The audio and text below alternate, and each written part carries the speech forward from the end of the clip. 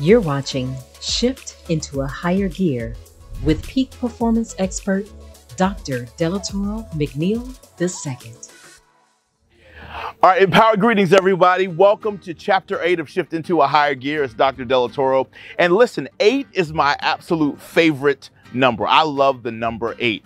In fact, this is my eighth book, y'all. right? When the Chinese had a chance to host the Olympics, they hosted it in 2008. They hosted it in the month of August, on August 8th at 8 p.m. Come on, somebody. right? And they hosted it in Beijing. Beijing has eight letters. The Chinese believe so much in the importance of the number eight because eight stands for abundance, it stands for prosperity, it stands for infinity, it stands for new beginnings, it stands for wealth, right? Now, those words that I just used, would you use those same words to describe your personal, romantic, and professional relationships? Yes, or kind of maybe no, right? Because motorcycles and vehicles are night and day different. Who you ride with in an automobile really doesn't matter. They can act a fool in the back seat and nothing really changes about your ride.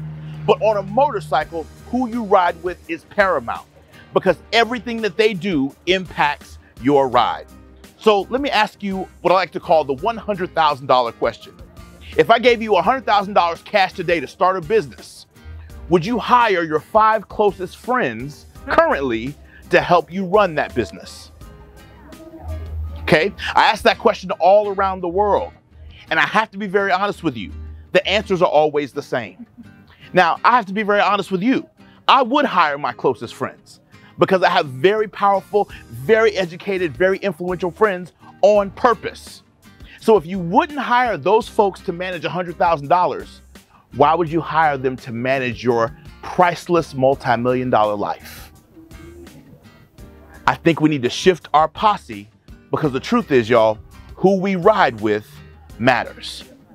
Now, I believe that there's three types of individuals you got to make sure you have in your biker club. You need mentors, someone who's been on the journey a lot longer than you, who's further down the road than you, who can tell you what to anticipate. You also need a mate.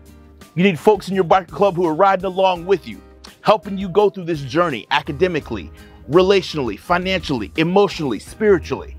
And then you need mentees. Mentees are folks who haven't even started the journey yet. And my friend, at the end of the day, even when you have mentors, mates, and mentees in your life, guess what else is really important? You got to understand one of the most important things I teach you in the chapter, which is this no relationship in your life matters until you influence the most important rider of your life, and that's yourself. You are the most important person in your posse because the common denominator between your career and your relationships and your finances and your wealth portfolio is always you. And shift your posse because who you ride with matters. Dr. Delatorro McNeal II. Shift into a higher gear. Better your best and live life to the fullest. Available on Amazon.com, Audible, and everywhere books are sold. You could be one shift away from your biggest breakthrough. Visit shiftintoahighergear.com to learn more.